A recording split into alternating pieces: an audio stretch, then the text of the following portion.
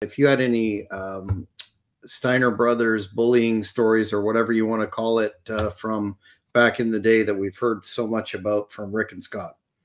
Well, I mean, in 2024, you call it bullying. You know, I remember one time there was this guy, um, this enhancement wrestler who was mouthing off the Steiners. We happened to be in Chattanooga at uh, on campus, and the dressing room was the actual wrestling like practice room, and they had a rope hanging from the top of the ceiling.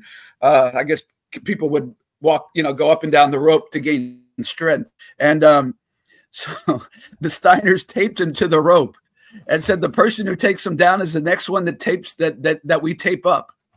And he was up there for about an hour. I mean, I don't know if you'd call that bullying. He thought the, the enhancement guy was thought it was the coolest thing in the world.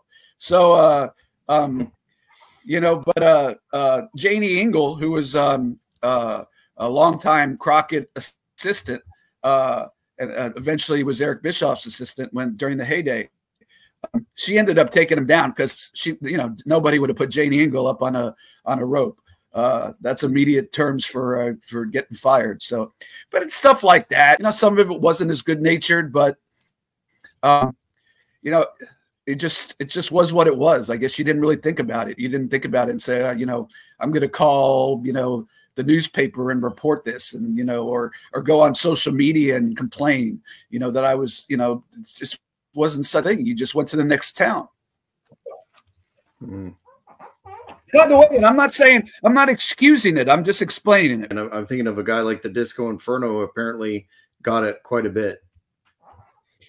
Yeah, I mean, disco, disco is a heat mag. You know, there's two ways to go about yourself. You could, you know, kind of lay low and not, uh, you know, bring any attraction to yourself, or you could, you know, talk crap and, uh, you know, uh, be a wise ass.